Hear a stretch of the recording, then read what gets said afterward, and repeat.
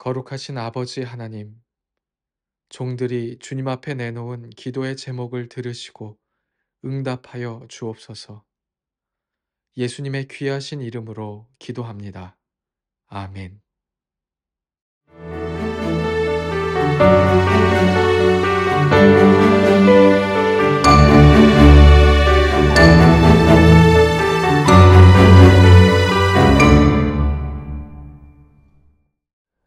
횃불의 목사님, 사모님, 국내외 순교사님들과 사역자 여러분 안녕하십니까?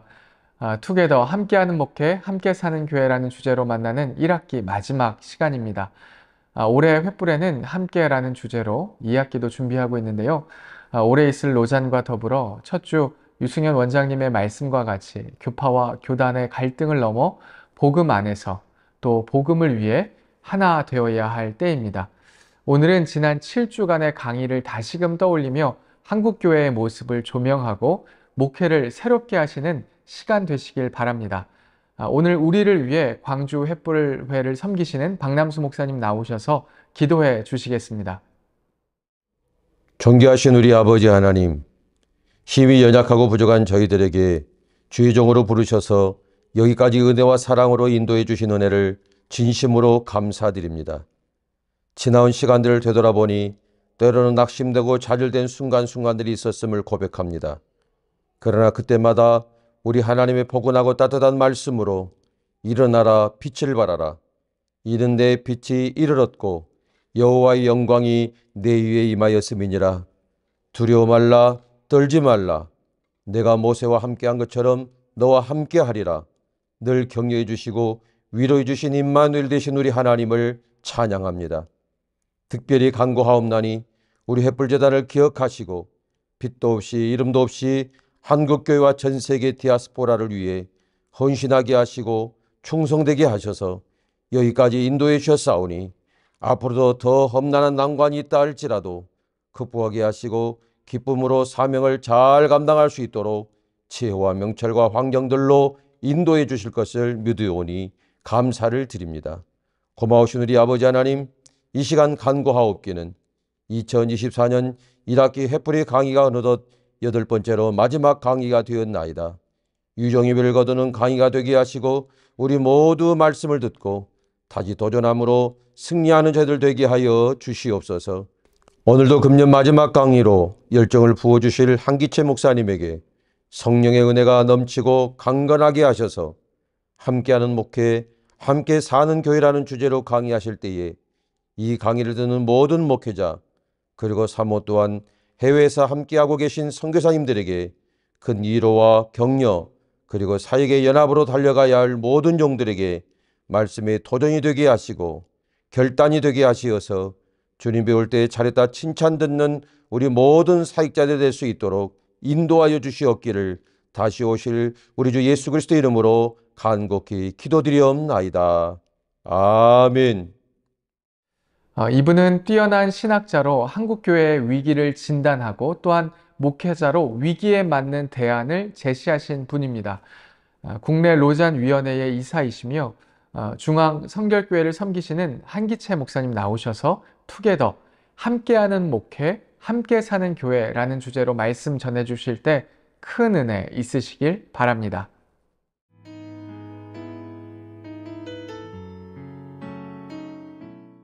네, 전국에 계시는 횃불의 그 회원 목회자 여러분 그리고 어, 해외에서 어, 사역하고 계시는 우리 선교사님들 그리고 동역자 여러분 안녕하십니까? 아, 저는 중앙 성결교회를 섬기고 있는 한기채 목사입니다. 어, 오늘 이 시간이 이번 횃불의 강의 마지막 시간이 될 텐데요. 제게 주어진 주제는 Together 함께하는 목회 함께 사는 교회라는 어, 주제입니다. 우선 우리가 사역하고 있는 그 교회의 현황을 어, 살펴볼 필요가 있는데요. 어, 한국교회는 또 한국교회뿐 아니라 현대교회는 역설의 시대에 놓여 있다. 이렇게 한마디로 얘기할 수 있습니다. 교회 안에서도 양극화가 아주 심화되어 있는 격차 교회라고 말할 수 있습니다. 이전에 우리 횃불회에서도 그런 주제를 다뤘죠.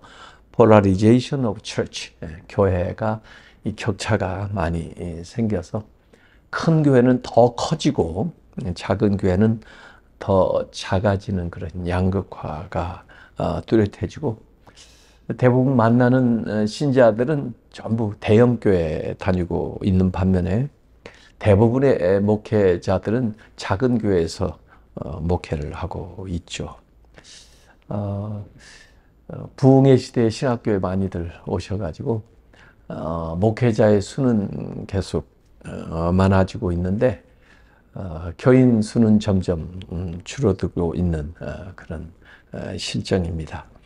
아, 그리고 이제 전통적인 교단, 장로교, 감리교, 어, 침례교, 성결교회 어, 이런 어, 그 전통 교단이 예, 좀 쇠퇴하는 그런 세계적인 추세인 반면에 독립교회들은 어, 또 증가하는 그런 어, 모양을 보이고 있습니다. 아마 교단에 속하여 있는 교회들이 물론 교단에서 제공해 주는 여러 가지 좋은 프로그램도 또 행정적인 지원, 재정적인 지원도 있겠지만 또 반면에 음, 교단에 기여해야 되는 것들이 예산적으로나 어, 여러 가지 에, 그 참여하는 것에서 시간을 어, 쓰다 보니까 음, 오히려 어, 독립교회가 어, 자기의 그 시간과 어, 그 재정을 오롯이 어, 그 본질적인 사역에 더 투입할 수 있기 때문에 에, 그렇게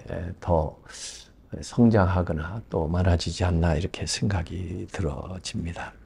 현대인들을 살펴보면은 대개 이제 영적인 거, 아무리 현대 시대라도 영적인 관심은 더 어, 증대되고 있어서 어, 실제로 어, 그 어떤 어, 이, 어, 이 뭐, 점을 치러 간다든지 또 어떤 사이비적인 어, 그런 일들에 연루되는 경우들도 어, 종종 보게 되는데 그러나 그 영적인 관심이 음, 교회에 대한 관심으로 이어지지 않는다는데 에, 좀 문제가 어, 있습니다. 그래서 코로나19 기간 동안에 교회는 어, 그 쇠퇴하고 어, 그래서 spiritual but not religious 그 영적이기는 하나 그러나 종교적이지는 않은 그런 사람들이 어, 증가하고 있습니다. 또 교인들도 어, 교파에 대한 충성도는 점점 어, 낮아지는 반면에 새로운 패러다임의 교회에 대한 호감도는 늘어나고 있는 그런 실정입니다. 음, 그리고 어, 과거에도 사실 우리 한국에 보면 불교 신자라고 하면서도 실제적으로는 어, 절에 1년에 한두 번도 가지 않는 사람들이 부모 때부터 신자다 해서 이제 불교인이라고 얘기하는 경우도 어, 보게 됐는데 최근에 와서는 기독교인들도 어, 명목상의 신자가 많아지고 있습니다. 어, 기독교인이라고 하면서도 어, 1년에 몇 차례 교회에 출석하지 않는 교회에 대한 충성도가 점점 떨어지고 있는 그런 시대이고 사회에도 지금 고령화, 초저 출생 어, 이게 문제이지만은 교회는 더 심각합니다. 어, 그래서 교회도 고령화, 어, 영적 초절 출산이 심각한 문제로 부상하고 있고 이제 자체 교회 문제를 해결하기도 버겁기 때문에 과거처럼 열심히 선교하고 선교사를 보내던 것들이 좀 위축되고 있는 그래서 선교에 대한 그 관심이나 자원들이 고갈되어 가는 모습도 주변에서 목격하게 되는 거죠.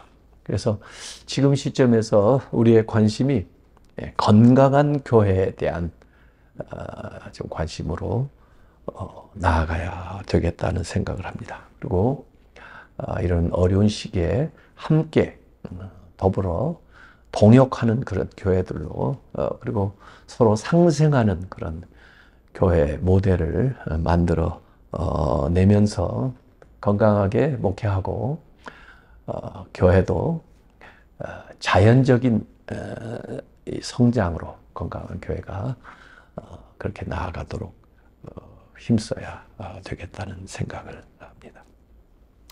전반적으로 이제 세계 그 기독 교의 인구를 살펴보면요. 물론 기독교 인구가 제일 많지만은 3분의 1을 넘지 않고 있습니다. 그 다음에 많은 이제 종교 인구가 무슬림인데 무슬림도 30%를 육박하고 있습니다. 전 세계적으로 보면 이렇습니다만은 그러나 그 전 세계 인구의 60%를 아시아에서 차, 차지하고 있는데요. 그 아시아의 기독교 퍼센테이지를 보니까 어, 아시아 전체 인구의 9%가 어, 기독교 신자입니다. 그러니까 세계 전체로 보면은 3분의 1이 30% 이상이 크리스찬인데 아시아에서는 9% 그러니까 어, 아시아가 제일 이제 선교율이 낮다고 이렇게 볼 수가 있는 거죠.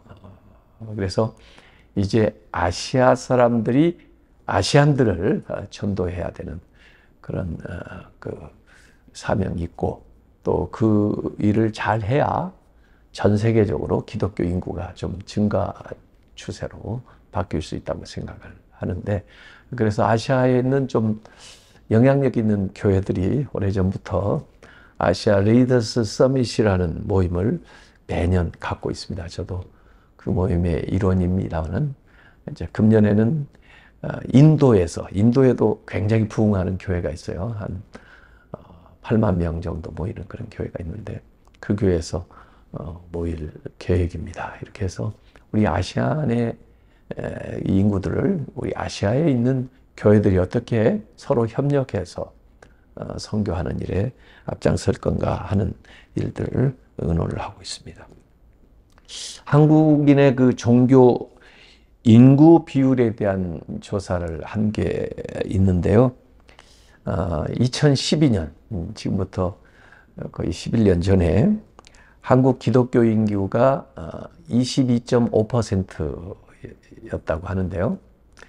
그런데 이제, 이제 코로나 지나면서 2023년, 작년도 통계는 기독교 인구가 우리 한국 전체 인구의 16.6%로 나타났습니다. 그러니까 어, 지난 10년여 동안 어, 한국 기독교는 6% 어, 감소한 것으로 나오죠.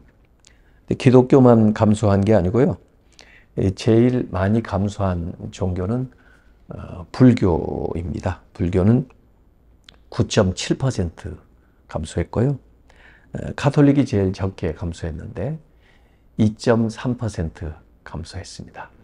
그래서 한국 사회로 보면은 무종교층이 굉장히 지난 10년 동안 어, 증가했다고 보는데 무종교층이 18%가 이렇게 증가를 했습니다. 어, 거기에는 이제 3, 40대들이 많이 이탈한 것들이 나오고요. 그리고 그 아래 세대, 그 3, 40대 자녀들이 되겠죠. 그들이 부모 따라 교회를 오지 않으니까 우리 다음 세대들이 점점 줄어들어서 어떻게 보면 한국 기독교 인구는 이 역삼각형 형태로 어, 그렇게 줄어들고 있습니다. 그래도 그 3, 40대 그 통계 가운데 어, 그 긍정적인 면은요. 지금은 교회에 나오지 않지만 어, 언젠가는 또 어느 기회에 되면은 다시 교회로 돌아오겠다고 하는 음, 사람들이 3, 어, 40대 지금 교회 떠났던 사람들 가운데 50% 이상이 그렇게 응답하고 있다고 하는 것은 그래도 좀 고무적이라고 볼 수 있고요. 어, 그들을 교회로 끌어올 수 있는 그런 방법 또 목회적인 전략이 필요하다고 이렇게 생각이 됩니다. 신자 연령별 분포를 보면요. 한국이 지금 어, 고령 사회죠. 물론 고령 사회의 지표는 65세 이상의 인구가 어, 이제 몇 퍼센트를 차지하느냐 14% 기준으로 해가지고 얘기들 하고 그러는데 60세로 볼때 어, 한국 사회에서 60세 이상이 전체 인구의 32%를 차지한다고 합니다. 어, 그러니까 거의 3분의 1이 60세 이상의 에, 인구라고 이렇게 보면 되는데요. 그런데 한국 교회에 출석하는 음, 교인들 가운데 60, 60세 이상인 분들은 52%를 차지하고 있습니다. 전체 한국 어, 인구는 60세 이상이 32%인데 교회만 놓고 보면 60세 이상이 52%, 20%나 더 어, 고령화되어 있다는 그런 얘기가 되는 거니까 굉장히 교회는 심각한 상황에 놓여 있다고 볼 수 있습니다. 예장 통합에서 어, 그 하고 있는 교회 동반 성장 사업 아, 그 사역 하는 걸 보니까 그 교회 중에 작은 교회 50명 이하 모이는 교회들이 54.6%라고 그러더라고요. 그 교단에. 그래서 큰 교회와 작은 교회 같이 이렇게 동반해서 성장하는 그런 모델을 개발하고 있고 이제는 아, 강소형 교회를 세워야 된다. 네. 작지만 강한 교회, 아, 그 지역의 특성에 맞는 어, 또 사역의 특성을 개발해서 나아가는 강소교회 형태. 또 이제 사역자들이 많아지고 어, 그러기 때문에 큰 교회에서 어, 팀을 이루어 가지고 전문적인 사역을 하는 그런 분들이 같이 팀으로 사역을 하는 형태의 목회도 우리가 해 나가야 되고 교회 개척이 좀 힘들다고 하지만은 그래도 분립해서 개척하는 그런 형태의 어, 그 개척은 어, 계속해 나가야 된다고 봅니다. 제가 어, 성결교단 총회장 할 때 그 주창했던 것은 교회체 활성화 프로그램이었습니다. Church Revitalization. 교회 플랜팅 개척도 중요하지만은 기존의 교회가 다시 불타오르도록 재활성화하는 프로그램을 교회에서는 해나가야 된다. 교단적으로 어, 해나가야 된다. 그래서 그 이제 자립하지 못하는 교회 가운데 그래도 자립할 수 있는 그런 계획을 세워가지고 제출하는 교회들을 어, 교단에서 심사를 해가지고 국내 선교위원회에서 어, 그 중에 이제 그 해당되는 교회들 집중적으로 음, 지원해 줌으로써 어, 자립하지 못하던 상태에서 자립하는 교회로 어, 그 담장을 넘어갈 수 있도록 이렇게 밀어주는 그 재활성화 프로그램을 한 적이 있습니다. 어떤 교회는 교회를 예, 이제 이전을 해야 되는 것을 도와주거나 또 어떤 교회는 리모델링 하는 것을 도와주거나 또 그 교회가 가지고 있는 부채를 어, 갚을 수 있도록 도와주거나 하는 그런 실질적인 어, 지원을 그 교회에 맞게 또 필요한 만큼 어, 집중함으로써 그 교회가 재활성화 될 수 있도록 그렇게 하는 프로그램들을 진행을 한 적이 있습니다. 이런 일에 우리가 같이 이제 큰 교회들이 좀 협력을 해야 늘 그냥 미자립 상태에서 지원만 받다가 은퇴할 때까지 물론 그런 지역도 있을 거예요. 아, 그 지역 사회 특성상 아, 뭐 선교지도 그렇지만은 아, 그러나 가능한 교회들은 아, 그 교회가 도움을 받는 교회에서 도움을 주는 교회로 나아갈 수 있도록 그렇게 효과적으로 지원할 필요가 있다 이런 생각을 이제 교회는 미셔널 처치, 선교적 교회가 되어야 된다 이런 말들을 지금 많이 하고 있습니다. 어, 적극적으로 선교하는 교회가 되지를 못하면 예, 그저 자기 교회를 목회하는 음, 교회로 머물고 그러다 보면은 현상 유지 교회로 가고 그러다 보면 전락해서 박물관 교회로 간다는 거죠. 네, 유럽에 있는 교회들이 대개 지금 박물관 교회죠. 어, 또 어, 우리나라 교회들도 대부분 현상 유지하기 어려운 그런 차원에 있고 또 자기 교회 목회하는 그 정도에서 바쁜 그런 교회도 있는데 안디옥 교회 같은 모델을 보면은 지속적으로 어, 사도행전에 나오는 교회들은 선교 지향적인 그런 교회 그 사역을 통해서 어, 복음이 더 널리 전파되고 또 여러 곳에 교회가 세워지는 어, 그런 관심으로 계속해서 교회는 나가야 된다고 생각을 합니다. 구약의 이 선교 방식은 대개 구심력적인 선교라고 볼 수 있습니다. 신자가 되려면은 마치 유대인처럼 어, 또 율법도 지키면서 어, 그 귀화하는 것처럼 그렇게 되었던 방식인데 이제 사도행전에 와서 예수님께서 말씀하신 선교 방식은 어, 원심력적인 예루살렘과 온 유대와 사마리아 땅끝까지 나아가는 가서 찾아가는 그런 선교의 패턴으로 어, 나아가는 것을 볼 수가 있습니다.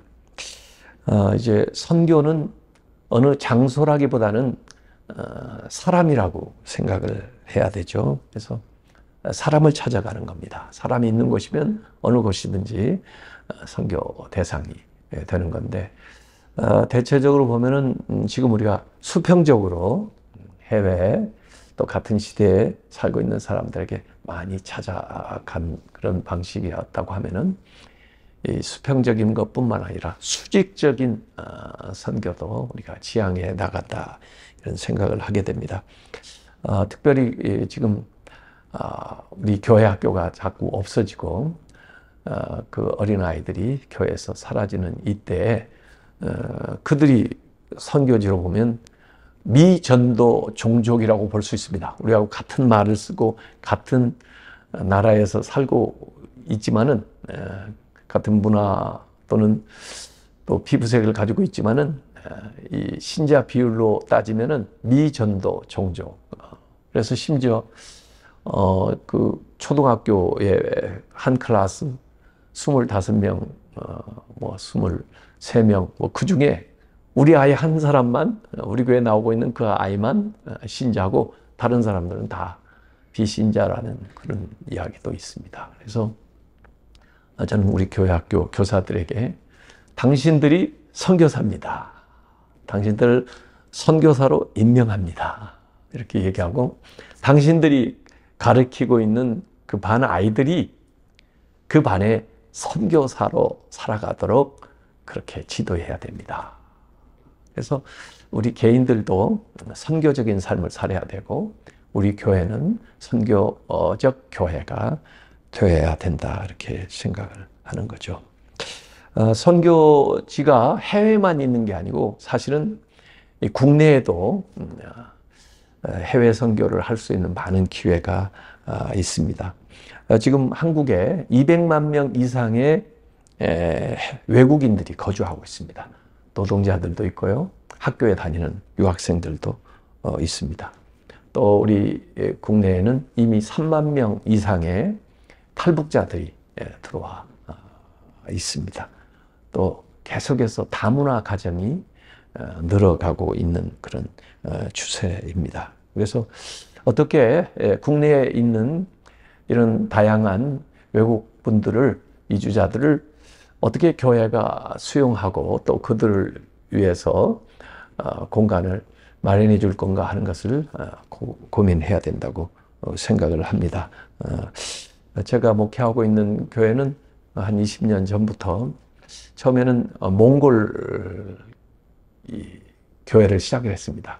그래서 몽골 congregation missional church라고 그 선교 교회처럼 교회 안에 현지인, 몽골 현지 사역자 한국에 이제 유학을 하고 있었는데 그분이 예, 사역할 수 있도록 예, 사례금을 제공해 드리고 또 자국의 언어로 어, 사람들을 전도해서 모일 수 있는 공간을 마련해서 몽골 교회를 세우고 중국 교회를 세우고 어, 미얀마 교회를 세우고 네팔 교회를 세우고 어, 그랬습니다. 근데 그 몽골 교회 그 출신들이 유학 마치고 또 여기서 일 이제 계약 기간 마치고 울란바토르로 다시 귀국해서 어, 그들이 그곳에서 모여가지고 어, 세운 교회가 울란바토르에 두 개가 있습니다. 그러니까 지금 또 하나는 호주에 가서 교회를 세우고 있는데 어, 우리가 선교사를 보내지는 않았지만 이곳에서 그들이 머무는 동안 교회 안에서 그들을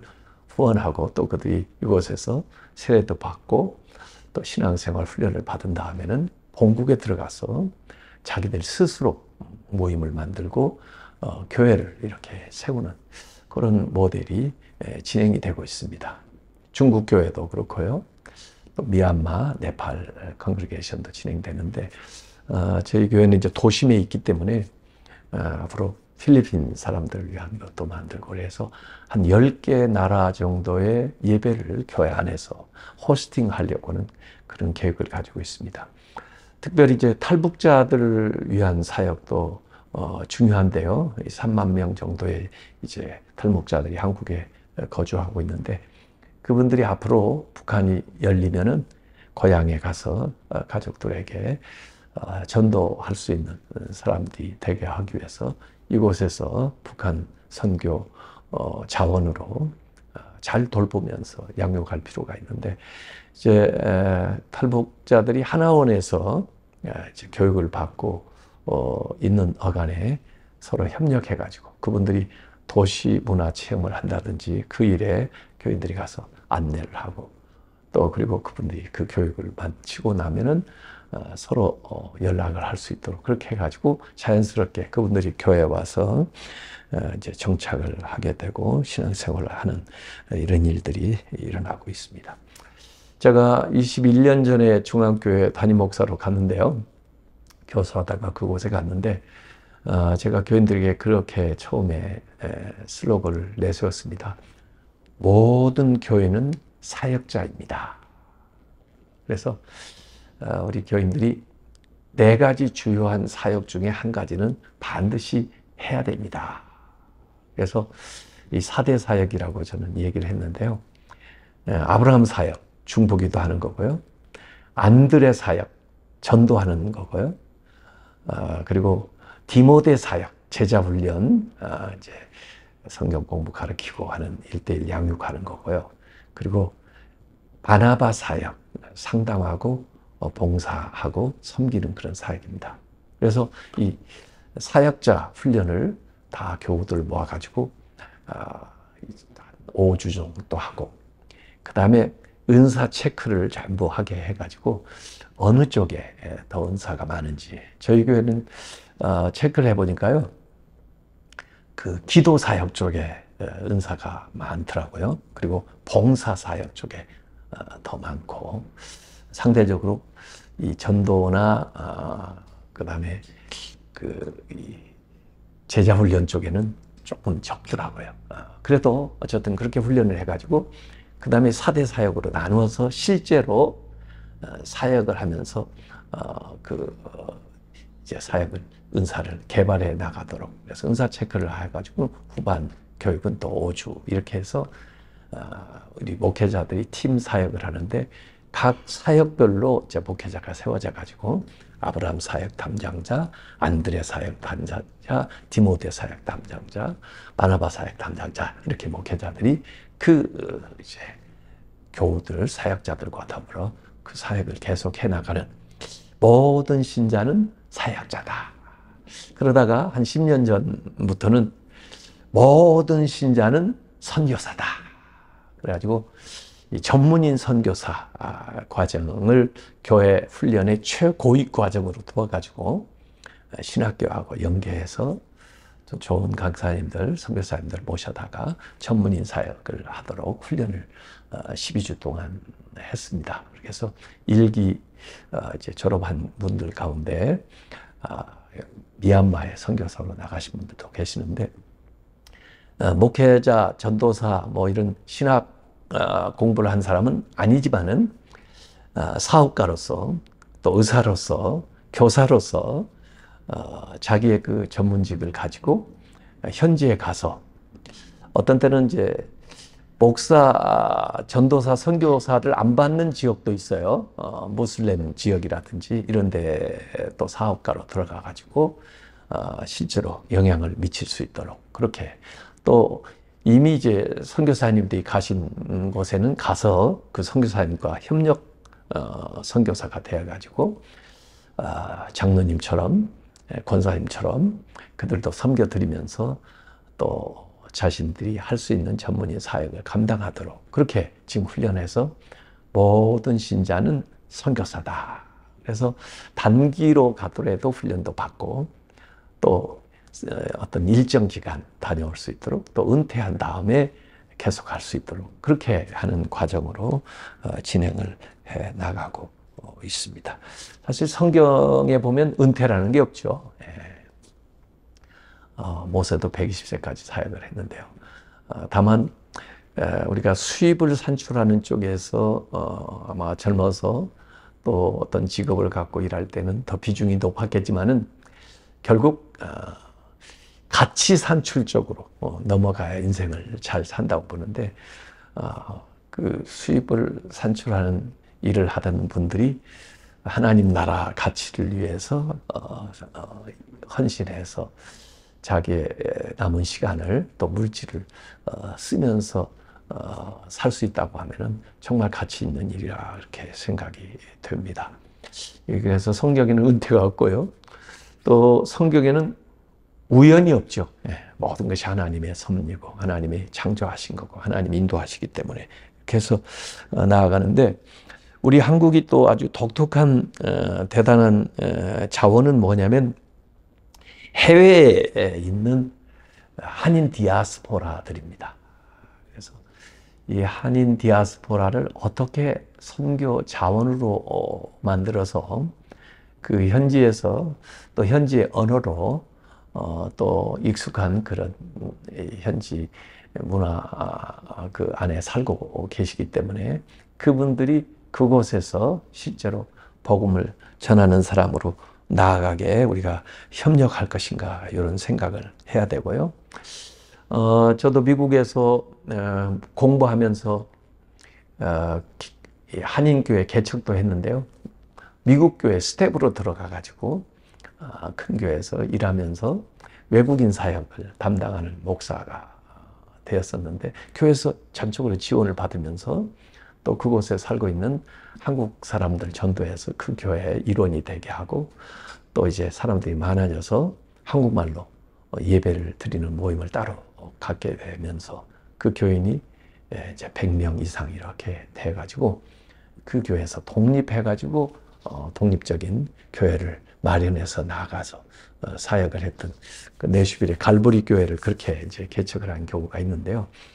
어, 해외에 있는 어, 그, 그 나라의 교회와 우리가 어떻게 잘 어, 협력해서 선교해 나갈 것인가, 또 현지에 있는 사역자들이 이를 감당할 것인가 이런 것들도 우리가 관심을 가지고 나가야 된다고 생각합니다.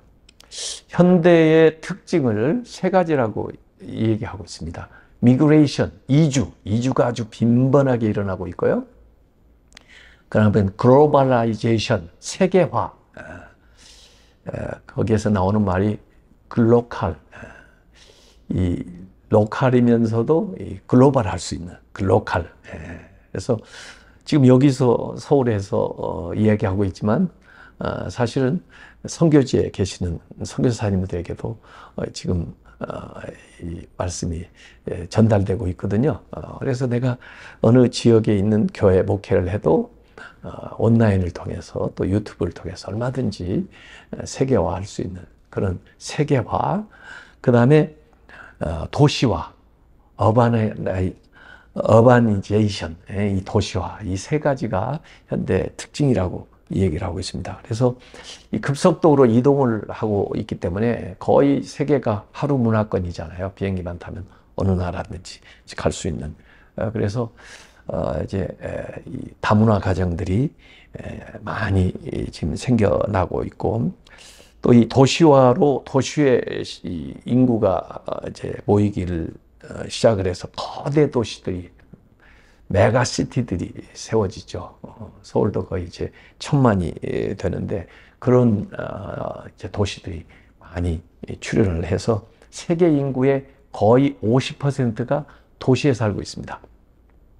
바울도 이제 사도행전에 이 선교하는 방식을 보면요. 정거장식 선교라고 하는데 도시에서 도시로 갑니다. 어, 거점 도시를 그 당시 주요한 도시에 가서 어, 교회를 세우고 그 도시가 그 주변을 담당하도록 맡겨놓고 또 다시 어, 다음 도시로 가는 그런 정거장식의 전도를 했는데 결국 이 도심을 통해서 그 지역을 선교하는 그런 방법으로 나아가게 될 겁니다. 그래서 이에 따라서 선교의 제3 물결도 현지 지도자를 양성하는 것으로 또 국내에 있는 외국인 선교로 그리고 어, 모든 어, 신자들을 전문인 어, 선교사로 어, 길러내는 그런 방식으로 나가야 된다고 생각합니다.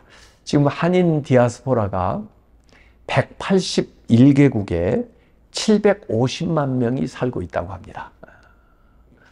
그러니까 어마어마한 어, 숫자가 해외에 흩어져서 한인들이 각 나라에 살고 있는데요. 어, 우리 그 선교 횃불 재단에서는 매년 이렇게 디아스포라들을 한국에 초청을 해가지고 집회를 가지면서 그분들로 하여금 그 지역에 선교사로 살아가도록 그렇게 도전을 하고 있습니다. 그래서 그분들이 어, 그곳에 선교하는 일들을 감당해 나갔다고 하면 어, 우리가 어, 이곳에서 양성해서 선교사 문화가 다르고 언어가 다른 곳에 파송하는 그것보다 훨씬 더 놀라운 영향력과 일들이 일어나게 될 것이다 하는 생각을 하게 됩니다. 지금 이제 한국 사회가 고령 사회로 접어들면서 어, 그런 어, 이제 현직에서 어, 일을 마친 분들이 더 가치 있고 의미 있는 일을 위해서 살아갈 수 있도록 이렇게 전문인 자비량 선교사를 우리가 파송할 수 있도록 해야 되겠는데요. 그 세계 복음주의 연맹 틴테로 감독은 그런 얘기했습니다.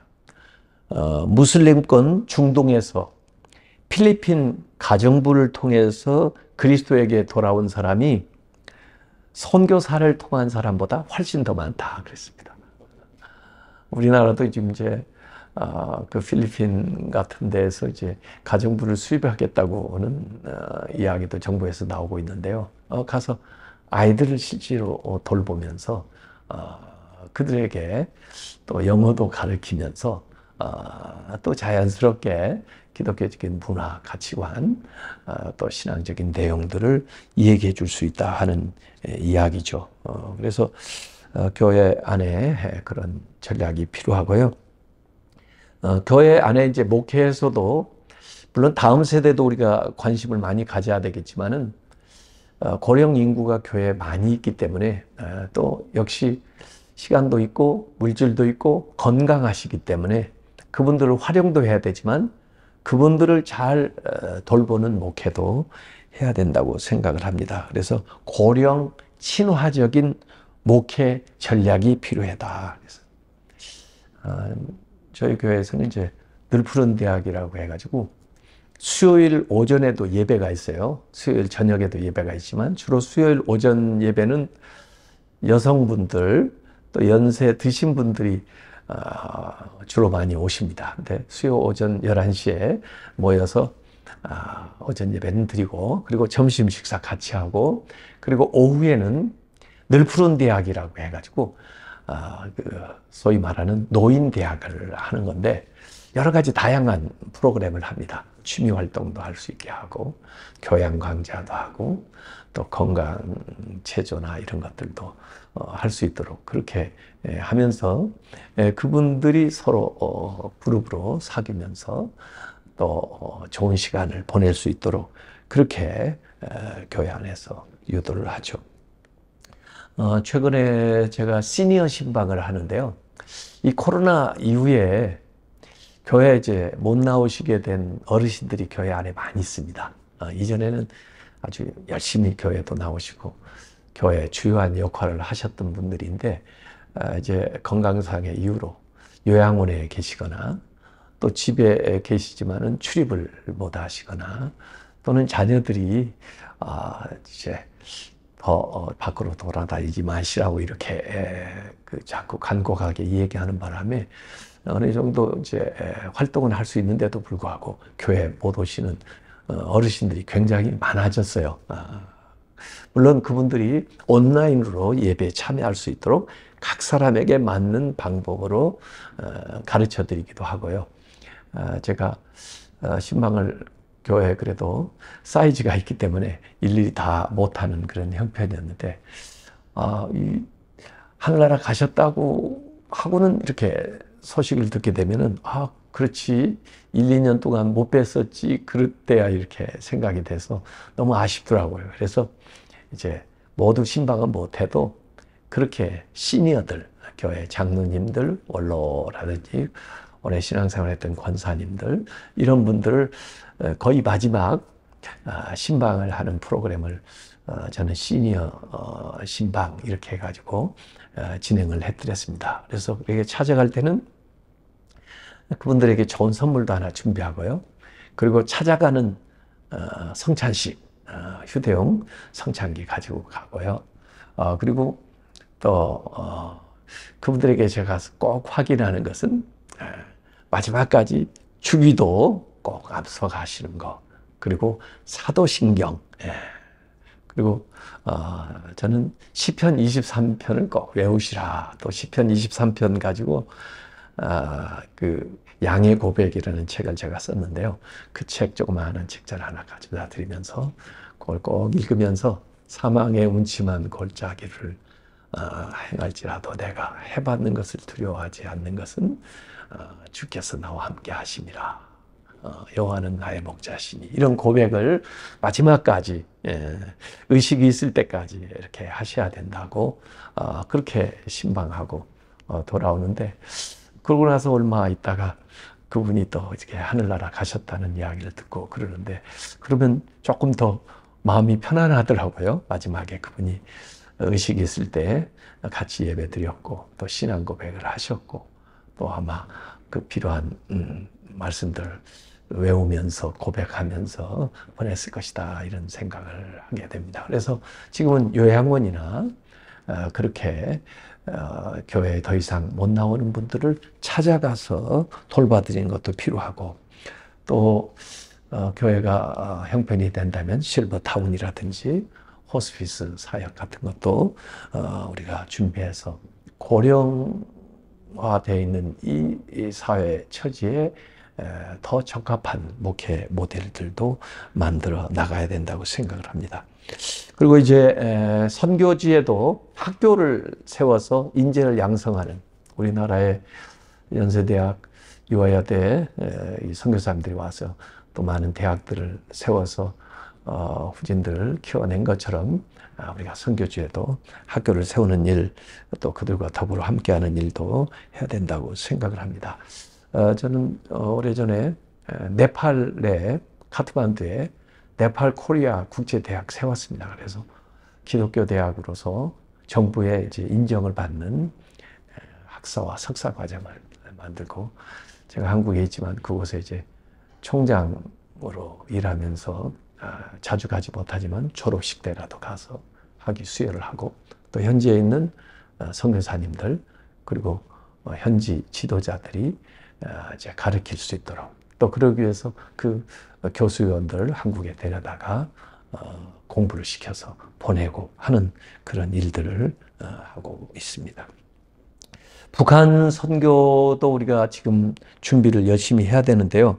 한국 컴패션에 보니까 지금 현재 한 200여 교회가 참여해가지고 이 컴패션 북한 사역 파트너십으로 어, 준비를 하고 있는데 특별히 어, 이제 컴패션은 각 지역별로 어린이를 돌볼 수 있는 센터들을 세우려고 하는 어, 계획을 다 로드맵을 만들어 놓고 그 어린이 예, 이제 보호하는 그 센터에서 아이들 가르칠 수 있는 아, 그 교재까지 아, 이미 만들어 가지고 한국에서 실제 에, 그 활용하고 있는 것을 어, 보았습니다. 아, 그래서 이제 훈련 어, 사역자들을 교사들을 양성해 가지고 언제 열릴지 모르지만은 어, 좀더 체계적으로 한국 교회가 같이 연합해 가지고 각 지역에 아, 그렇게 어, 들어가서 골고루 어, 그 아이들부터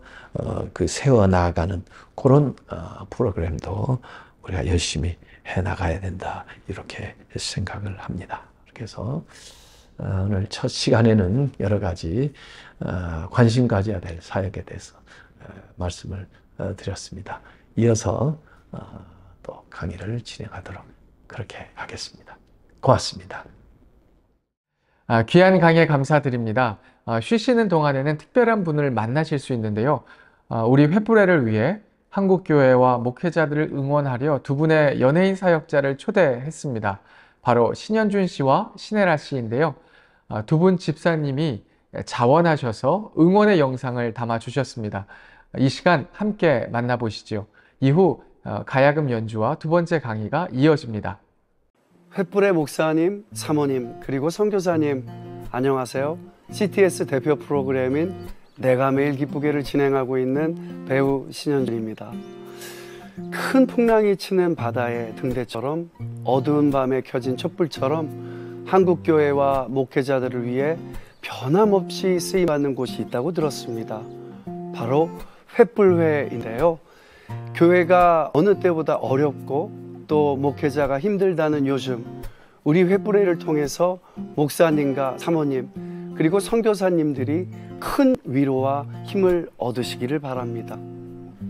기도는 땅에 떨어지지 않는다고 하죠. 전국 16개 횃불회에서 기도로 좋은 강의로 모이실 텐데요. 그 자리에 함께 하실 하나님을 기대하고 있습니다. 횃불의 목사님, 사모님들의 열정을 통해서 교회와 가정이 살아날 것을 믿습니다.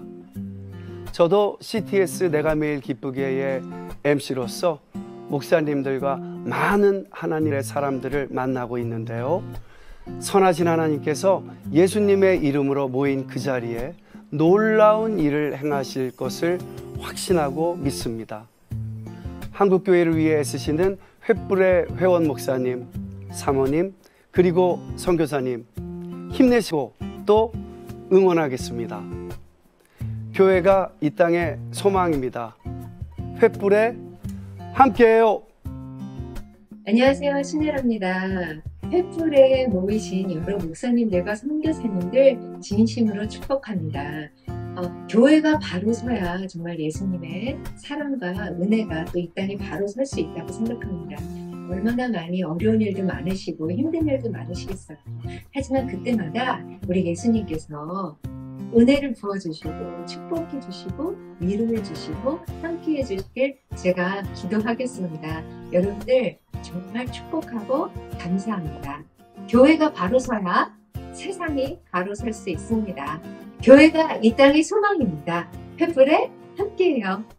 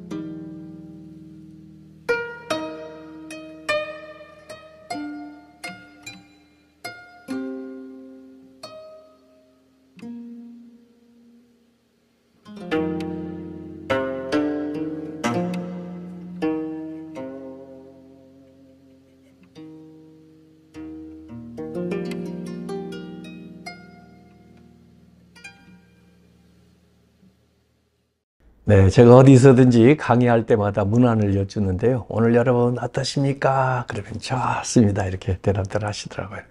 제가 한번 문안 여쭙겠습니다. 오늘 여러분 어떠십니까? 좋습니다. 예, 즐겁게 예, 행복하게 예, 사역하셔야 됩니다. 어, 어머니가 어, 행복해야 젖 먹는 아이도 건강하게 잘 자랄 수 있습니다. 그래서 환경이 어렵고 또 여러 가지 어, 잡- 감당해야 될 일들이 있지만은 주님 앞에 또 기도하고 또 우리 동역자들이 서로 어, 이 격려하면서 다 어, 풀어내고 그리고 우리가 어, 우리 에, 같은 사람들에게 섰을 때는 어, 참 행복하게 즐겁게 에, 사역을 어, 감당하면서 또 하나님이 주신 그 위치에서 또 자기의 역할을 에, 묵묵하게 에, 감당하는 것이 에, 필요한 것 같습니다.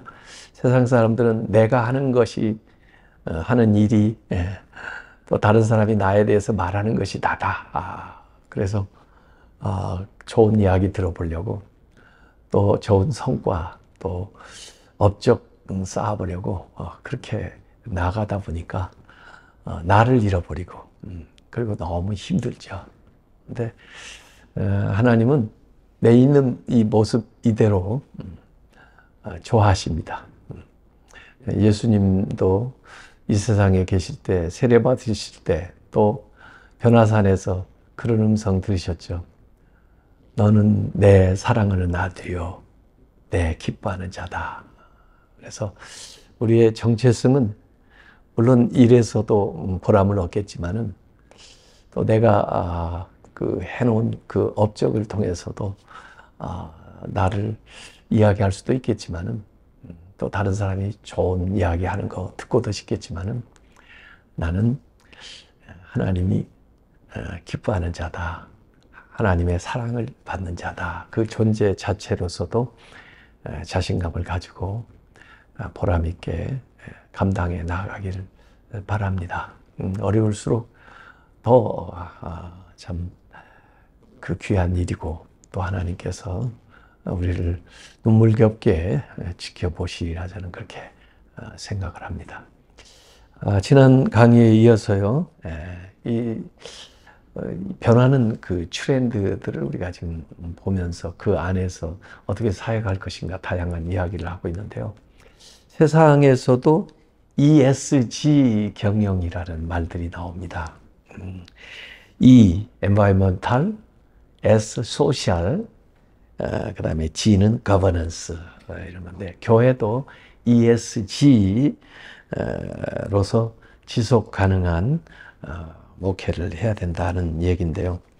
코로나 이후에 우리가 하나님과의 관계에 있어서 또 사람들과의 그 관계뿐만 아니라 자연과의 그 관계도 어, 이 신앙생활에 아주 중요한 요소가 된다 하는 것을 어, 깨닫게 되었습니다. 그래서 이 environmental, 음, 이 환경이죠. 음, 그래서 환경 보존하는 것, 또 탄소 중립 실천 운동하는 거, 생명 존중하는 운동 일으키는 거, 슈바이처가 생명의 존엄에 대한 그 어, 사상들을 어, 펼쳤습니다마는 아, 저도 그 세월호 사건 일어났을 때요, 어, 그 안산에 가서 는 교회 어, 설교로 갔었는데 그곳에 사실 희생자 가족들이 많이 있더라고요. 너무 마음이 아팠어요. 어떻게 그들을 도울 수 있나, 또 세월호 희생된 분들의 그 희생이 헛되지 않게 할 수 있나 생각하다가 시작한 것이 생명운동입니다. 우리나라 사회 생명력이 너무나 약화돼 가지고 이렇게 에, 참 아,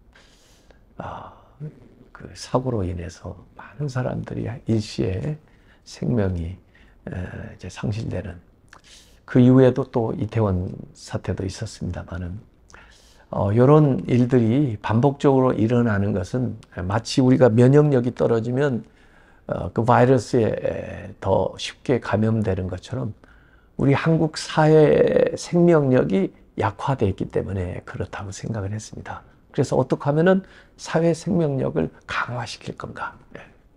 사회 생명력이 약화되니까 사고도 그렇고 자살도 많이 일어나고 또 낙태하는 일도 많이 일어나서 생명을 경시하는 또 생명이 그렇게 쉽게 어, 참 희생을 당하는 이런 일들이 예, 많아지고 또 그 일이 자꾸 반복되다 보니까 의식도 어, 굉장히 약화되는 것 같습니다. 그래서 사회 생명력을 강화시킬 수 있는 생명 운동을 매월 주제를 정해가지고 교회에서 하자. 그래서 세월호 사태 일어났던 그 달에 제가 첫 번째 생명 운동으로 우리 교회에 제창했던 건 뭐냐면요.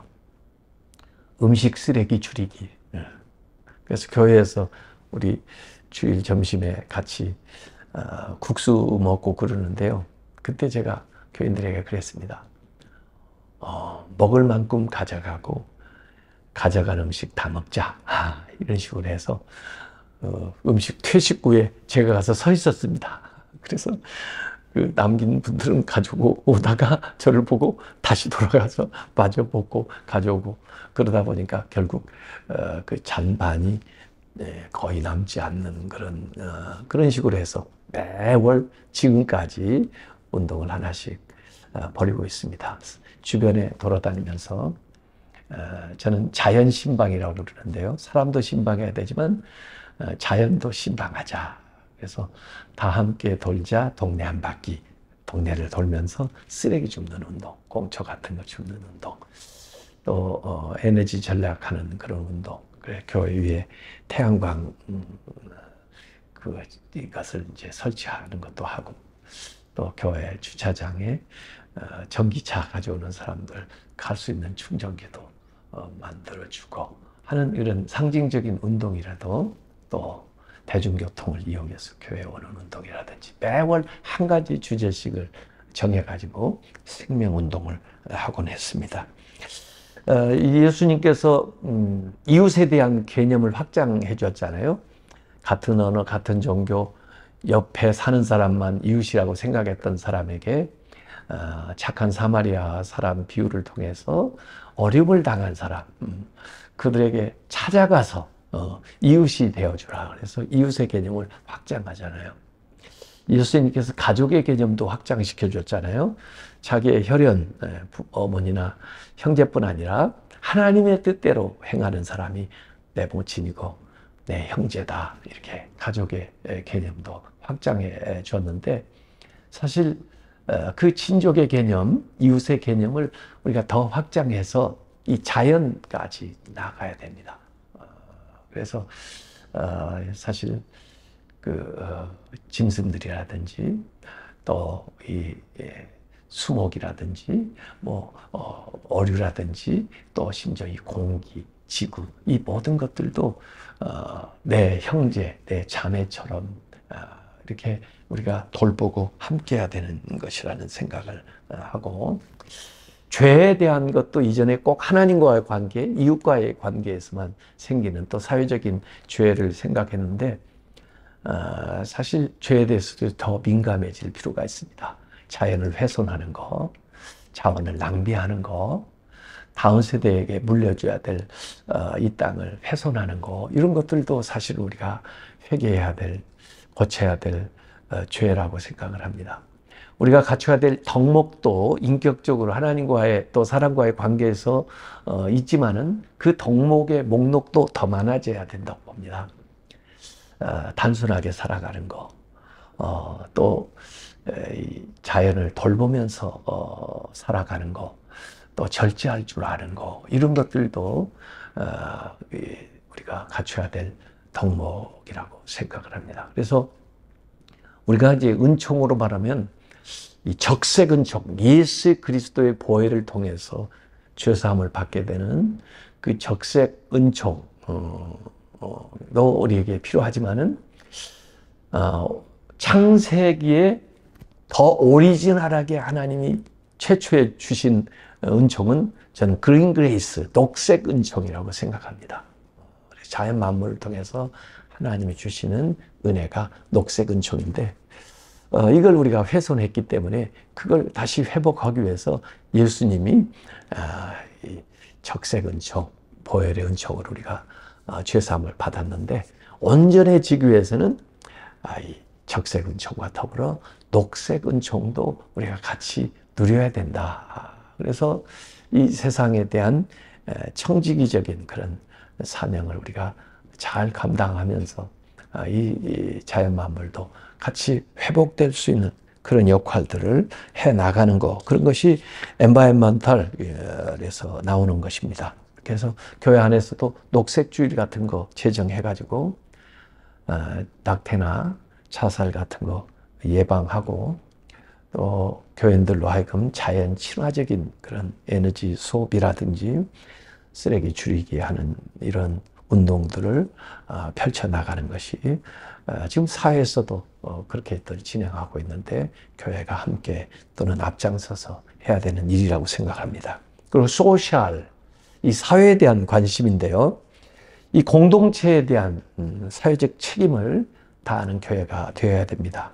물론 지금 한국 사회는 굉장히 그 사회보장제도가 많이 진행이 되면서 이전보다 이제 우리 교회가 이전부터 하던 이 구제나 봉사 활동의 이제 영역이 조금씩 조정이 돼야 될 필요가 있습니다만은 결국 교회에 나오는 사람만 목회하는 것이 아니고 지역 사회를 돌보는 마을 목회로 우리가 나가야 된다고 생각합니다. 그래서 지역 사회의 필요를 잘 살펴서 거기에 반응하고 필요한 것들을 공급해 주는 그런 그래서 어, 마을 교회로 어, 그리고 주민을 교인으로 이렇게 삼고 그 웨슬리는 그런 어, 슬로건을 내세웠습니다. The world is my parish.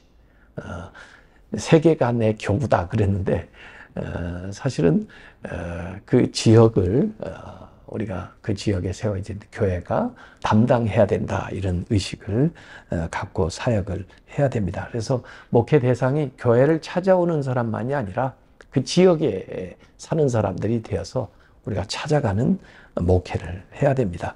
지금까지도 사실 그런 일을 했죠. 교회가 어린이집이라든지 지역 아동센터라든지 돌봄 교실이라든지 또 공부방, 도서관, 놀이터, 뭐 키즈 카페, 문화센터, 문화, 어, 무료 예식장, 주차장, 뭐 카페 같은 걸 했는데 어, 그것도 사실은 교회로 오게끔 하는 거잖아요. 근데 어, 찾아가는 방식으로 어, 그래서 독거노인들 어, 돌본다든지요.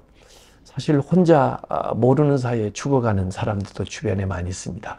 그들을 규칙적으로 어, 찾아보는 일을 한다든지 어, 참 우리 교회가 어, 위치한 그 지역 사회를 그 돌보는 센터로서의 역할을 교회가 해 나가기 위해서 마을 목회 매뉴얼도 교회가 위치한 데에 따라서 잘 만들어 가지고 이렇게 함께하는 목회를 해 나가는 것이 필요하다고 생각합니다. 그래서 마을 환경을 돌본다든지 또 구제하는 사역을 한다든지 마을 신방을 한다든지 지역 청소를 한다든지 마을 복지 장학금 뭐 물품 나눔 또 마을 기업 또 마이크로 크레딧 뭐 이런 농촌에서 사역하신 분들은 이미 그런 일들을 많이 하고 계시는 걸로 알고 있는데 어, 이 마을이 내복의 대상이다 이런 생각을 어, 이 S 소셜 이런 측면에서 생각을 해야 되고 G 어, 이건 리더십에 관련되어 있는 건데요. 지금 종전에 우리 교회 리더십이 되게 전통적인 교회는 권위적이고 보수적인 그런 거였는데 아, 사회도 너무 많이 변하고 있습니다. 그래서 민주적이고 수평적인 예, 그리고 아, 장로님들뿐만 아니라 교인 모두가 교회에 참여할 수 있는 그런 시스템 구조를 만들어 가야 되고 위에서 아래로 내려오는 조직이 아니라 바텀업 아래에서 위로 올라가는 어, 그래서 교회 이제 다음 세대라든지 또 청년들이 어, 교회 의사결정에 좀 참여할 수 있는 그런 시스템이라든지 그들의 리더십을 개발해 주면서 서로 소통하는 구조들을 만들어가는 것이 필요하다고 생각을 합니다. 그래서 교회 안에서도 이렇게 ESG가 필요하다 그런 말씀 드립니다.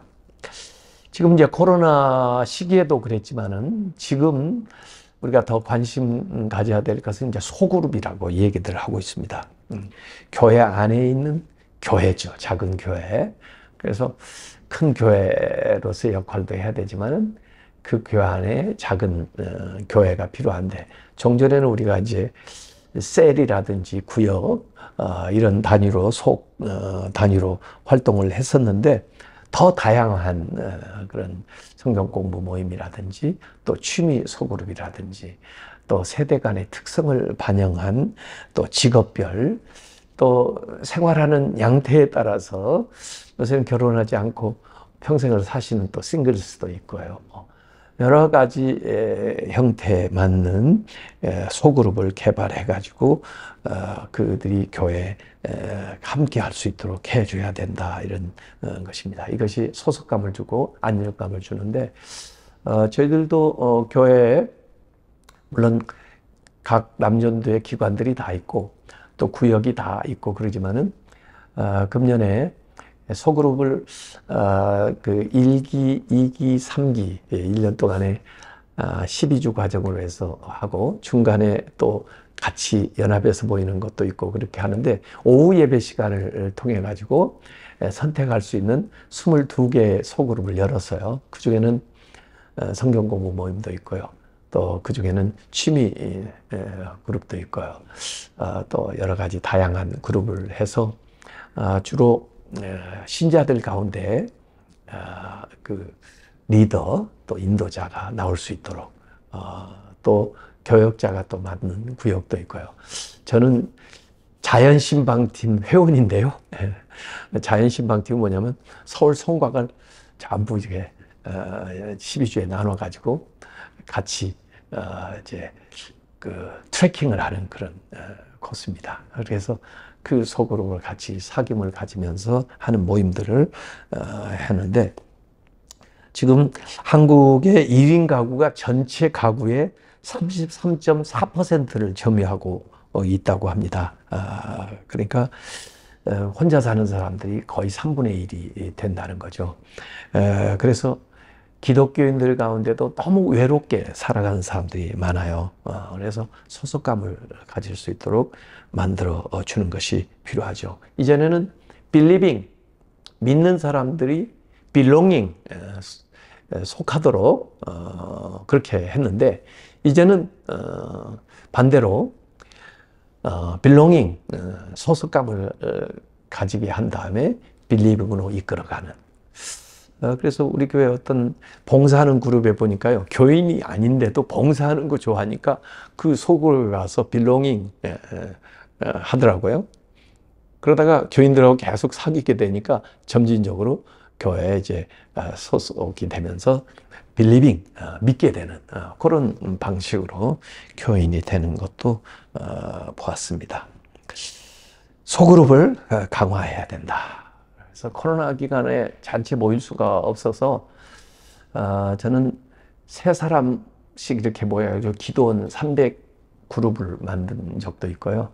그 세 사람에서 이제 어, 한 사람이 이제 두 사람 아론 훌처럼 해가지고 세 사람을 만들었던 건데 거기 이제 아론 훌 역할했던 사람도 모세처럼 또 아론 훌을 또 해라. 그래가지고 어, 그렇게 해서 어, 일곱 명으로 조직되는 홀리클럽을 어, 또 만들기도 하고 어, 또 거기에서 또 더 두 사람씩 모아가지고 밴드 처치를 만들기도 하고 그들이 어, 온라인을 통해서 말씀을 나누게 하고 또 성경을 같이 읽고 나누도록 하고 뭐 이런 식으로 해서라도 하여간에 그 소그룹이 활성화되도록 노력을 해야 된다는 겁니다. 그 다음에 교회에 대한 고정관념을 좀 해소해야 된다는데 교회는 음, 사실 건물이 아니죠. 어, 에클레시아 믿는 사람의 모임입니다. 그러니까 실제로 어, 처음 교회들은 전부 가정에서 모였던 음, 거기고, 그다음에 굉장히 그 모빌리티 이동성이 있는 어, 그런 모임이었죠. 실제로 뭐 교회 원형이라고 보면은 뭘까요? 재단 구약에 그게 뭐 방주 형태도 부유물처럼 이렇게 떠다니는 거죠. 이게 고정돼 있지 않고. 그리고 실제로 어, 출애굽기에 보면은 이제 성막, 성막도 구름 기둥, 불 기둥, 성령의 인도하심 따라서 계속 진군하고 이동하고 머물 때도 중앙에 아, 일종의 텐트죠. 예, 이동하기 쉽게. 예, 그래서 굉장히 그 움직이는 그런 교회 예, 모습이 예, 실제 교회 어, 원형이라고 볼 수가 있습니다. 2014년도에 그 저기 서울 미술관에 전시회를 하는 걸 보았는데요. 중국 사람인데 리밍웨이. 어, 근데 그 가보니까 그 음, 움직이는 정원이라는 작품이에요. 근데 어, 뭐 정원을 꾸며놓은 것도 아니고 이 정원이라는 건 사실은 이 어느 공간에 딱 멈춰 있는 거 아니에요. 근데 움직이는 정원, 그러니까 조금 모순적인 건데 음, 거기 갔더니 리밍웨이라는 작가가 아, 앉아 있어요. 그래가지고 그 코너에 오는 사람들에게 이 통에서 장미 한 송이씩 주더라고요. 저도 받고 제 아내도 받고 그러고 보니까 거기 들린 사람들이 다 장미 한 송이씩 받았어요. 그리고 돌아다니는 거죠. 그리고 그분들이 또 그걸 집으로 가져가겠죠. 그러니까 어떻게 된 겁니까? 그게 움직이는 정원이 되는 겁니다. 그래서 제가 그 리밍웨이가 참 어, 신기한 사람이다. 그래서 쳐보니까 2007년도에 뉴욕에서도 똑같은 제목의 작품을 했더라고요. 움직이는 정원. 뉴욕에서는 어떻게 했나 봤더니 뉴욕 맨하탄에 그 택시, 택시 아마 그 옐로 캡인데요. 노란색 택시인데 그 회사하고 계약을 했는지 그 택시 어, 그, 어, 그 외관에다가 꽃 그림을 그려줬어요. 잘. 그래가지고 그 상막한 뉴욕 맨하탄 도심에 이 아, 꽃그림이 그려 있는 택시들이 막 이동을 하는 거죠. 그러니까 움직이는 정원이 되는 겁니다. 이 아이디어가 굉장히 기발하다 이런 생각을 했는데요. 어, 교회는 원래 움직여야 됩니다. 우리가 움직이지 않으면 어, 건강치 못하죠. 그래서 성경의 역사는 어, 계속 운동, 움직이는 역사, 창조 운동, 출애굽 운동, 예수 운동, 성령 운동, 개혁 운동, 생명 운동 이렇게 되가는데 예루살렘 교회 그러면 어디 건물이 딱 있었던 게 아니고 예루살렘 지역에 있는 대개 가정교회를 얘기하죠. 안디옥 교회도 무슨 어, 전체가 모이는 큰 공간을 지었다기보다는 그곳에 있는 어, 교회 지역 가정 교회라고 볼 수 있고요. 코넬리오 집에 있는 교회, 루디아 집에 있는 교회, 아굴라 집에 있는 교회, 뭐 이런 교회 그 모임이 예, 교회입니다. 우리가 교회입니다. 그래서 내가 교회입니다. 당신이 교회입니다. 예, 우리가 교회입니다. 그래서 굉장히 이 예, 교회 개념 이것은 움직이는 역동적인 그래서 우리가 천국에 가는 노마드 어, 그 순례자다 이렇게 하는데 바울이 세운 교회들을요, 그 시간과 공간에 제약이 있으니까, 뭐, 로마에 있으면은, 로마에 있는 어, 교인들이나 교회는 돌볼 수 있지만, 자기가 세웠던 고린도나, 뭐, 갈라디아나, 뭐, 이런 데 교회들은 돌볼 수가 없잖아요. 예배소나. 이런, 그러면 어떡하죠? 그 당시에는 어, 편지 목회를 했습니다. 편지를 써서, 어, 그들의 현안이나 또 그들에게 필요한 거, 또는 그걸 어, 그 회람을 하러 해서 한 지역뿐 아니라 다른 지역에도 그 편지를 읽도록 하면서 사실 멀리 떨어져 있지만 목회를 했거든요. 지금은 저는 그게 온라인 목회라고 생각을 하는 거죠. 그래서 어, 그 물론 대면해서 어, 교인들도 상대하는 게 제일 좋지만은 그러지 않아도 어, 교인들은 어느 곳에 있든지 하나님은 대면하고 계시거든요. 예. 그렇기 때문에 그걸 잘 배게해 줄 수 있는 수단들을 우리가 활용을 해야 되고 더구나 이제 디지털 기술이 발달되면서 이제 OTT 크리스천, 오버 더탑 크리스천 그런 개념 새로운 패러다임이 이제 나옵니다. 그래서 포노 사피엔스가 출연했다고 그러죠. 그래서 이 폰을 쓰는 온라인 음, 상에서 활동하는 그런 사람들이 점점 많아지면서 최대 선교지가 어디냐? 유튜브라고 얘기합니다. 그 다음은 어, 카카오톡. 그걸 우리가 어, 잘 활용하는 방식을 어, 생각을 해봐야 될 것 같습니다. 그래서 이전에는 전도하라, 결신하라, 아멘. 그랬는데 지금은 접속하라, 구독하라, 좋아요. 그래서 구독하고 좋아요. 어, 다른 유튜버들도 매일 그거 해달라고 그러는데 어, 우리도 이 온라인 상에서 영적인 전쟁을 벌이고 있습니다. 이단들도 많이 활동하고 있고요. 비기독교적인 내용도 좋지 않은 어, 그런 어둠의 문화도 거기에 많이 들어와 있습니다. 우리가 어, 성령의 역사로 어, 그곳에서 좋은 복음을 전할 수 있는 그 플랫폼으로 활용해 나가야 되는데 우리나라 국민 10명 중에 7명이 OTT 플랫폼을 사용한다고 합니다. 특별히 그 OTT를 사용할 때 90%가 스마트폰을 어, 쓰고 있다고 그래요. 그래서 우리가 온라인 추치가 돼야 된다. 온라인, 오프라인 둘다 망라한 온라인. 이걸 이제 하이브리드 처치라고 그러더라고요.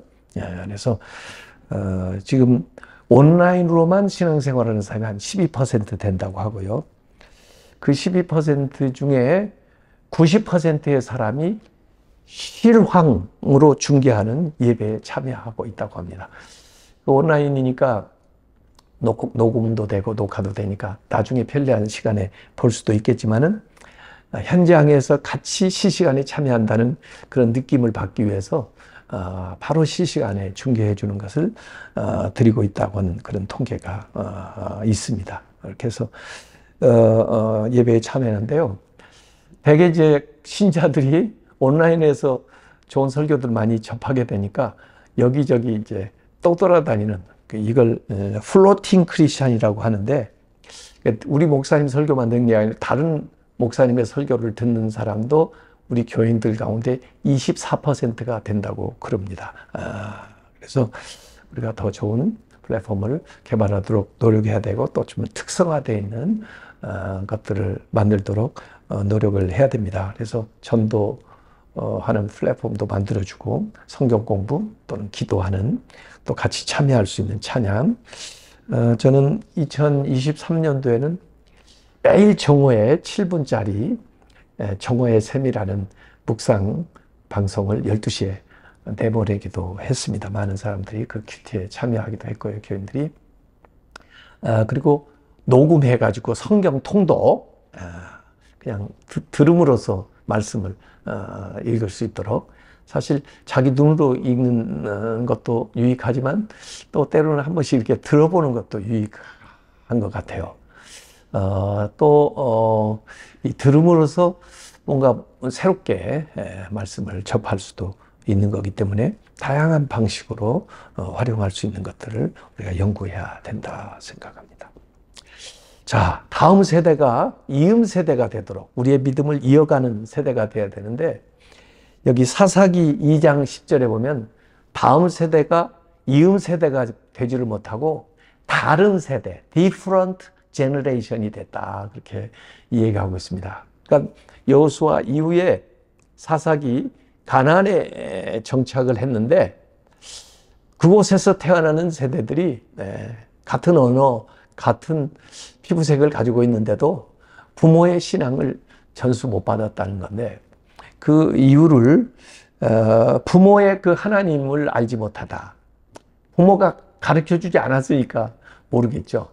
또 그 부모 때에 하신 하나님의 역사도 알지 못하더라. 하나님이 하셨던 놀라운 일들이 있는데도 불구하고 그들이 간접적으로라도 들어 경험하지를 못하니까 다른 세대가 되어버렸다. 그러니까 신앙도 잃어버리고 비전도 잃어버리고 그리고 그곳에 사는 사람들과 동화되어서 어, 살아가는 그런 모습이 거기에 나옵니다. 그래서 어, 우리가 다음 세대를 위해서 어, 박상진 교수가 그런 주장을 했는데요. 유바디 예, 교육을 해야 된다. 어, 유바디가 유닉의 바울 디모데. 예, 그러니까 디모데라고 하는 사람을 키워내기 위해서는 바울도 필요하지만은 유닉의 그 부모, 부모와 어, 교사와 아, 학생이 함께 해야 된다는 거죠. 교회 학교에서도 부단히 선생님들이 부모하고 소통하면서 또 그 부모가 그 교회 교육에 참여하면서 되어져야 된다는 거죠. 자녀들이 신앙생활을 하는데 제일 많이 영향을 받는 게 어머니라고 그럽니다. 어머니. 어머니한테 32%의 영향을 받는다고 하고요. 어, 그리고 목회자한테 영향받는 것이 16%라고 합니다. 아버지한테 영향받는 게 15%.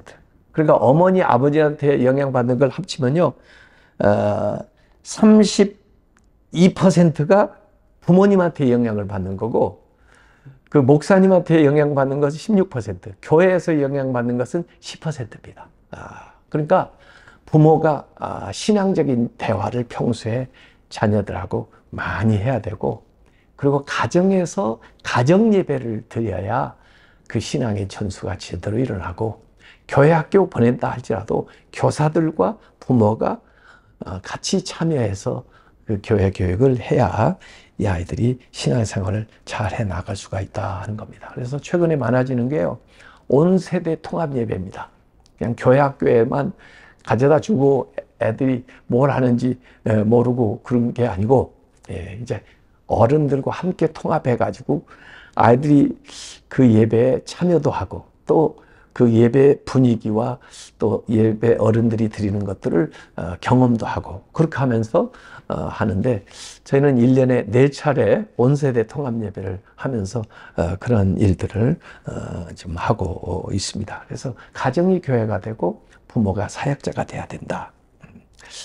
한국 교회는 엘리가 될 것인가 사무엘이 될 것인가.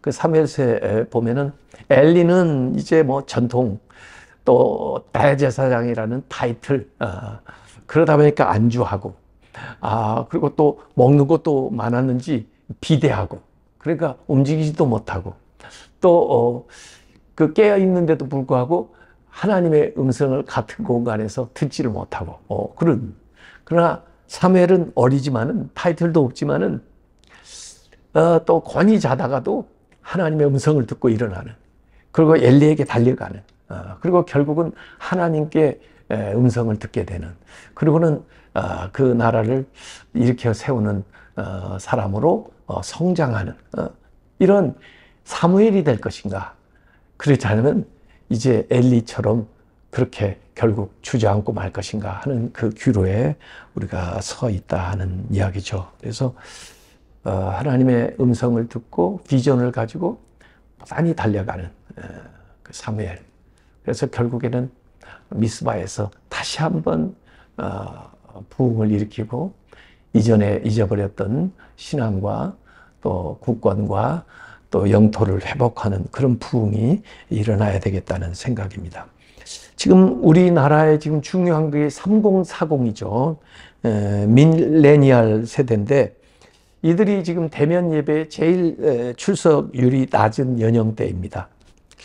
어, 더구나 그들은 교회 학교에 다니는 자녀들과 연계되어 있기 때문에 그들이 교회에 나오지 않으면 아이들이 교회에 나올 수가 없는 아주 지금 약한 고리가 아, 되고 있는데 그들이 사실은 직장에서 과중한 업무가 있고 또 육아 부담, 가사 부담 여러 가지 부담이 있기 때문에 교회 활동에 어, 좀 소극적이고 신앙적으로 침체가 올 수밖에 없는 그런 환경인데 그래도 그분들을 위한 특화된 프로그램을 가지고 또 그들을 멘토링을 좀 해줄 수 있어야 되고 또 그들이 아이들 동반하고 왔을 때 아이들 신앙적인 교육을 충분히 받을 수 있는 그런 또 아이들과 함께 와서 교회에서 놀 수 있는 키즈 카페 뭐 이런 것들도 어, 만들고 3040 세대를 위한 부부 모임 또 직장인 모임 육아 모임 이런 다양성과 유형성이 필요하다 하는 음, 이야기입니다. 금년 이제 9월 24일부터 28일까지 어, 서울 송도에서 4차 어, 로잔 대회가 열립니다. 어, 사실 로잔 대회가 스위스 로잔에서 1974년에 처음 열렸으니까 금년은 희년 50년이 되는 해입니다. 그래서 몇 년 만에 열자 그런 건 아니었기 때문에 지금까지 이제 3차 열렸고 이제 4차 대회가 되는 건데요. 74년도에 빌리 그레함과 존 스토트가 중심이 돼서 그게 열리게 될 때, 어, 사실은 어, WCC 에, 또 계열의 어, 자유주의 신학이 어, 어떤 사회 참여, 사회 복음, 해방 신학 어, 이런 쪽으로 어, 경도돼서 어, 나아가기 때문에 복음적인 계열에서도 어, 우리가 아, 복음의 우선성을 어, 이야기하지만은 그래도 이 복음이 온전한 복음이 되기 위해서는 삶의 자리에서 사회적인 책임을 감당해야 된다 하는 어, 그런 어, 이야기들을 자, 하게 되었던 거죠. 그래서 어, 스위스 로잔에서 모여가지고 로잔 언약을 어, 발표했던 것이고 1989년에는 필리핀 마닐라에서 제2차 아, 로잔 대회가 아, 모여가지고 어, 마닐라 선언을 어, 발표를 했습니다. 그리고 2010년에 남아프리카 공화국 케이프타운에서 3차 아, 대 로잔 대회가 열려가지고 21세기에 급변하는 글로벌 환경 속에서 기독교 선교가 도전한 당면한 도전과 위기를 극복하기 위한 그 케이프타운 서약을 어, 채택을 했습니다. 그래서 어, 우리가 예수 그리스도를 믿음으로 말미암아 구원받는 어, 그 복음의 우선성을 어, 이야기하면서도 그러나 세상에 대한 좀 관심 예, 그리고 믿는 사람들이 선교를 위해서 서로 연대하는 어, 그런 모임들을 해 나가는데 저는 이런 모든 모임의 에, 효시는 어, 사도행전 15장에 나오는 예루살렘 공회라고 생각합니다. 음, 예수 믿어 구원 받는 거지만은 이제 다른 문화 속에서 어, 또 새로 믿게 되는 사람들이 에, 직면하는 여러 가지 에, 문제들을 어, 예루살렘 교회에 모여가지고 어, 의논을 하고 일치된 어, 견해로 어, 나아가서 또 복음이 더 확장되는 계기를 만드는 그래서 시대에 따라서 문화에 따라서 여러 가지 이슈들이 제기되기 때문에 거기에 대한 전략을 같이 모여서 수교하고 또 선교적으로 어떻게 대처해 나갈 것인가 하는 것들을 어, 이야기하면서 어, 자정하는 노력도 갖게 되는데 이 3차 그 케이프다운 어, 그 모임에서는 이 교회 지도자들의 교만을 어, 또 탐욕을 회개하면서 어, 세 가지 얘기를 했습니다. 어, humility, 겸손, integrity, 에, 정직, 그리고 어, simplicity, 음, 단순성. 에, 그래서 이 앞에 스펠링을 따지면 H, I, S예요. His. 예수님. 나귀 타고 예루살렘에 입성하신 예수님을 이렇게 종종 생각하는데 거기에 이 세 가지 면이 다 들어있죠. 겸손, humility, 정직, integrity, 그리고 simplicity. 아주 단순함. 이걸 우리가 많이 잃어버리고 어, 살고 있는데 그걸 해보고자 하는 생각을 하면서 어, 예배소설을 읽고 어, 우리가 아, 섬기는 세상을 위한 케이프다운 행동 요령 여섯 가지를 이끌어낸 적이 있습니다. 자, 이번에 열리는 2024년도 4차 로데안 대회의 주제는 교회여 함께 그리스도를 선포하고 나타내자. Let the church declare and display Christ together. 이 together라는 말 이번 우리 횃불 주제에도 나옵니다만은 우리 함께 그리스도를 declare 선포하고 display 나타내자. 디스플레이 뭐 물건 같은 거 이렇게 진열하는 게 디스플레이 한다고 그러죠. 저는 사실 이 말이 굉장히 중요하다고 봅니다. 세상 속에서 그리스도를 나타내도록 각계 각 분야의 사람들이 자기 하는 일을 통해서 그리스도가 나타나도록 그러면 주님께서 영광 받으시겠죠.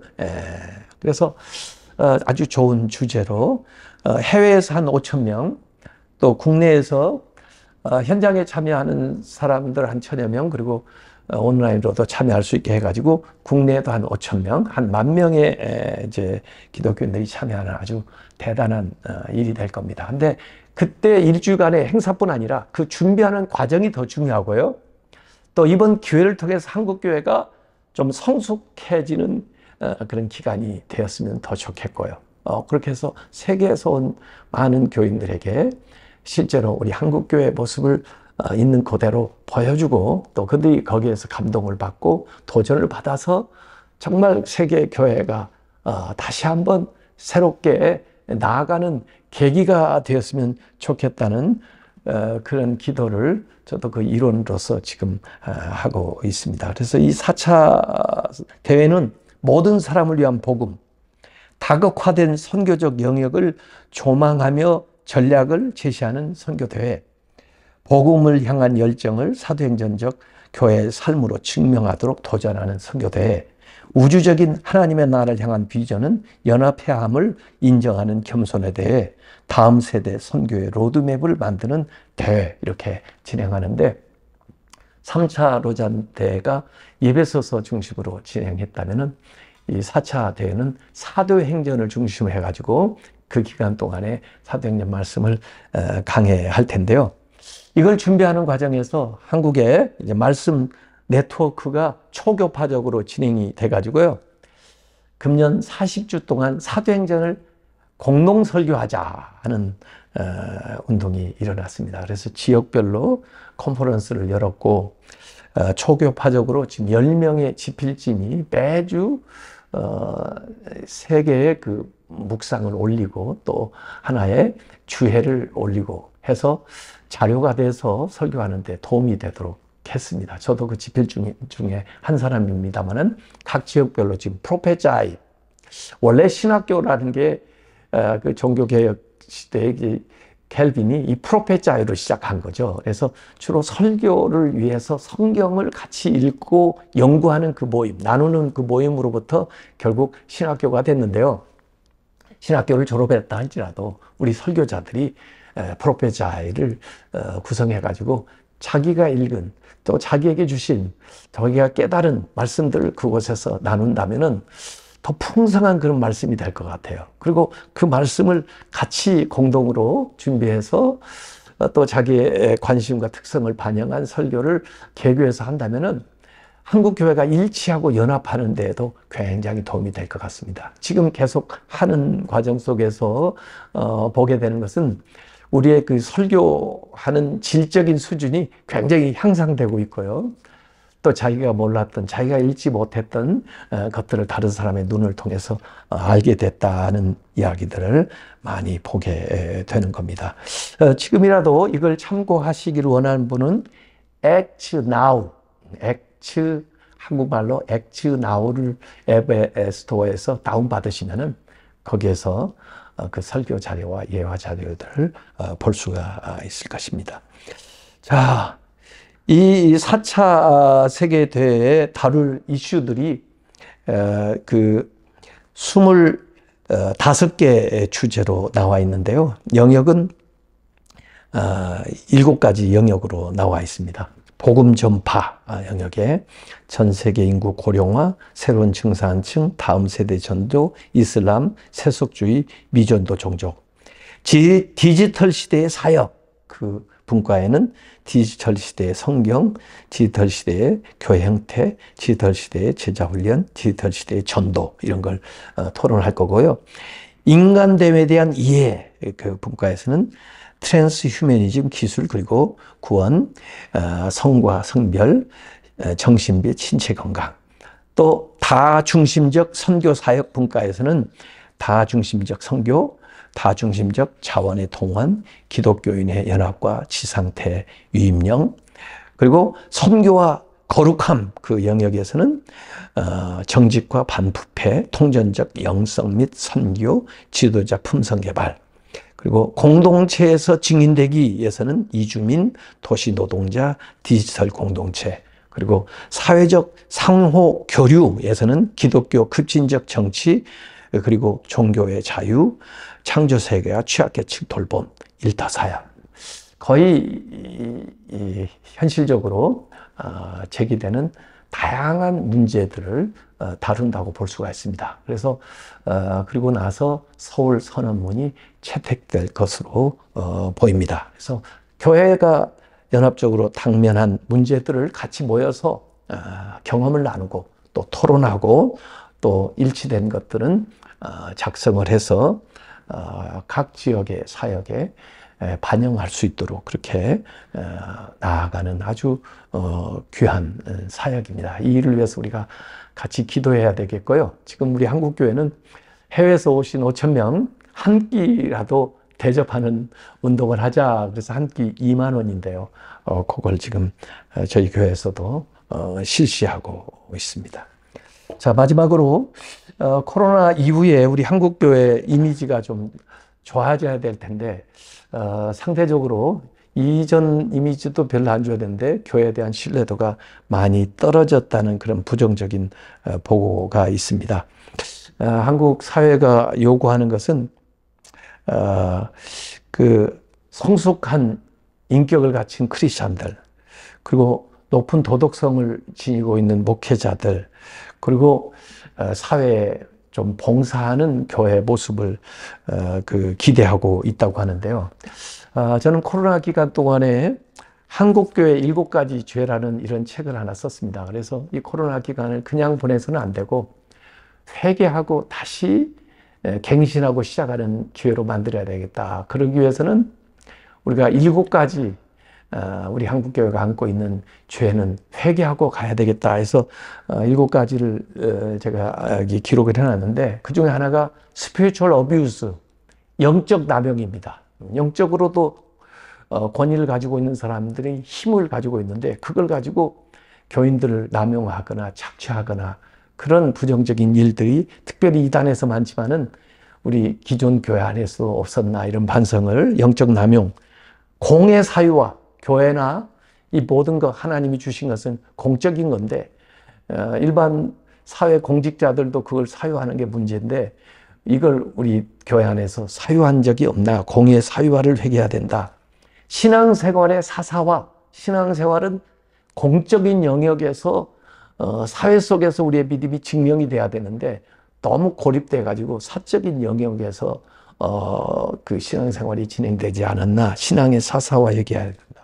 그리고 신드롬인데 침묵 과다 신드롬 모든 신, 친교회 모든 어, 선교회 또는 모든 그 교단 모임들을 가만히 보면 선교라는 이름은 붙었는데 전도라는 이름이 붙었는데 거의 침묵회가 돼버렸어요 우리끼리. 예. 에, 그래서 침묵 과다 신드롬 우리가 회개해야 된다. 공로자 신드롬 교회가 부흥하고 이렇게 한국 교회가 세워지다 보니까 아, 물론 기여하시고 또 쓰임 받은 분들 많지만 그것이 은혜가 아니라 공로가 되어 버렸어요. 공로 사상은 이건 사실 종교개혁 이전의 카톨릭 사상인데 우리는 은혜인데 예, 오직 은혜인데 공로를 주장하는 자들이 나타나면서 공로자 아, 신드롬 그리고는 아, 송사 신드롬 왜 교회 문제 또 교단 문제 가지고 사회에 나가서 어, 재판하는 그런 일들이 많아지면서 송사 신드롬 그리고 무례한 기독교 안 믿는 사람들이 볼 때 기독교인들이 너무나 교만하고 무례하게 보였던 이런 것들을 우리가 먼저 회개해야 된다. 그래서 법 이전에 윤리적인 거, 또 물론 그 이전에 영적인 그런 목회를 해야 되겠죠. 어, 그래서 우리가 최소한 동역자들이 윤리 목회를 해야 되겠다. 또 나부터 할 수 있지만 하지 않는 윤리가 필요하다. 나에게 주어진 권한 내가 할 수 있다고 다 하면은 남용이 되고 또 할 수 없는 것까지 자꾸 하다 보면 교만하게 되고 하지 말아야 되는 거 하면은 범법하게 되고 해야 되는 일 안 하면 나태하게 되는 건데 예수님은 할 수 있음에도 불구하고 안 하시고 예. 이 시험 받으신 사건 보면 얼마든지 돌을 떡으로도 만들 수 있지만은 하나님이 주신 능력을 자신을 위해서 쓰지 않는 예.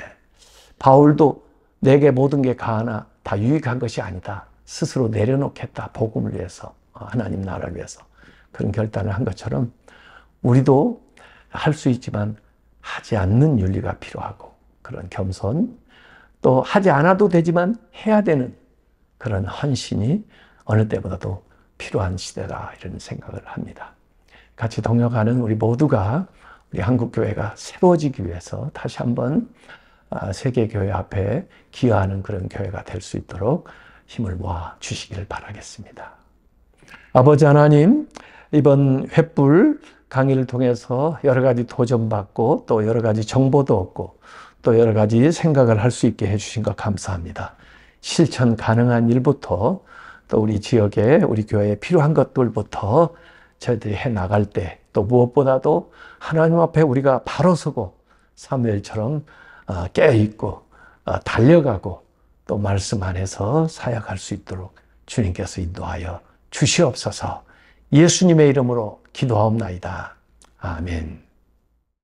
귀한 강의에 감사드립니다.